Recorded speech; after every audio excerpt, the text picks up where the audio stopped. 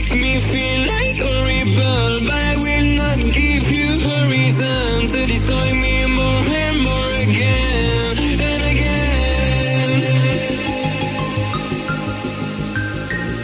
and again.